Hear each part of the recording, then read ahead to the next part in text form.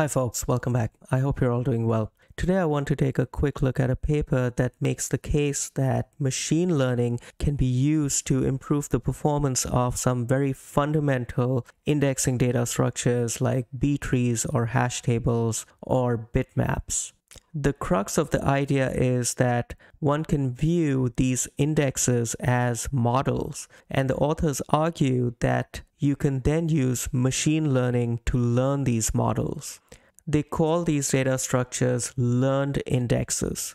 Now, of course, these data structures are fundamental to databases and many, many other applications and have been studied extensively B trees are a mainstay of databases and are a good choice for range requests when you want to retrieve everything that falls within a given range. Hash maps are often the best performing tool for single key lookups and Bloom filters or bitmap indexes are used to check if a record exists in a data structure or not. But all of these data structures are general purpose. They don't know anything about the distribution of the data that they contain.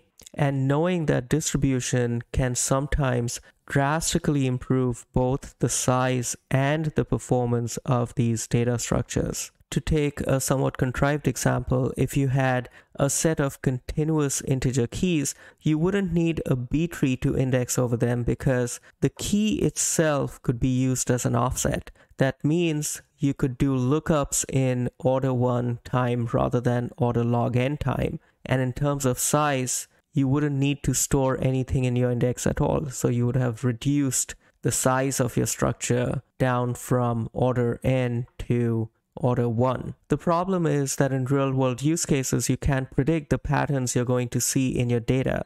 And this is where machine learning is a particularly good fit because instead of engineering a new solution to every new pattern of data that you could possibly see, you can train a model that learns those patterns. And then you can use that model in your learned index. This diagram illustrates the basic idea, which is that you can think of a B tree as something that takes a key and then predicts its position in a sorted array. So you could take this entire B tree and replace it with a machine learned model. But you might say that this is not exactly the same thing because the B tree index will tell you exactly what the position of the key is, whereas the model might have some error associated with its prediction.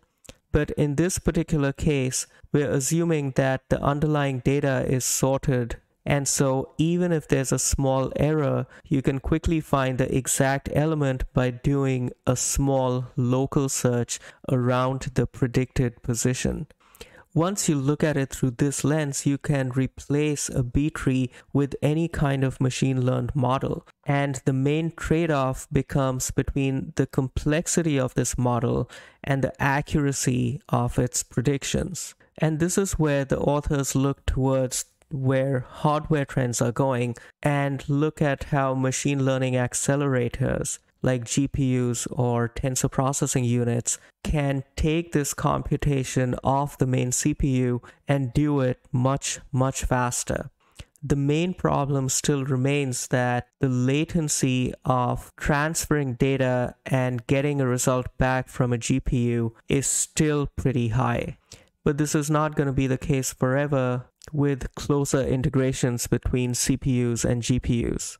Let's look at the basic mathematical idea behind building these models. We basically want to predict the position P of a given key and we can reduce that to the problem of approximating the cumulative distribution function of the underlying data. So if we learn that function f, f of the key is an estimate of the likelihood of observing a key smaller than the one we're looking for. And if we multiply that by n, which is the total number of keys, we will get a prediction for the position at which we might find our key. The authors built a learning index framework to implement this idea.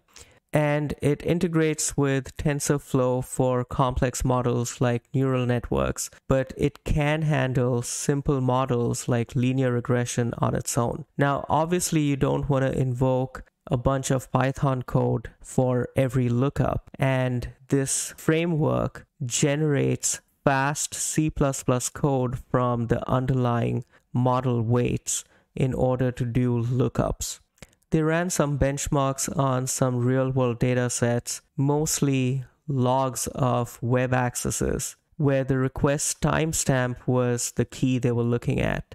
Note that this is not a convenient data set for a machine learning algorithm to build a model out of because these requests are ultimately coming from humans and reflect things like the time of the day, whether it was a weekend or not, whether it was a holiday or not, and so on. This table summarizes the results, and the authors have used a read optimized B tree as the baseline for comparing all the others. And as you can see, these learned indexes are actually performing quite well. They are between one and a half to three times faster at lookups, but almost two orders of magnitude smaller in size than B trees. We've been looking at B trees so far, but you can take the same idea and apply it to hash maps as well. And when it comes to Bloom filters or bitmaps, where we want to determine if a given record exists at all, you can look at it from the machine learning lens as a classification problem, where given a key, we want to predict whether it is a key or a non key. So that was a quick look at a paper where the authors have proposed this really cool and interesting new idea of looking at index data structures as models and then using machine learning models instead of generic data structures to power them. And their initial results were pretty promising. They got good speed ups as well as space savings compared to these traditional data structures. I hope you enjoyed that, and I will see you next time. Thank you very much.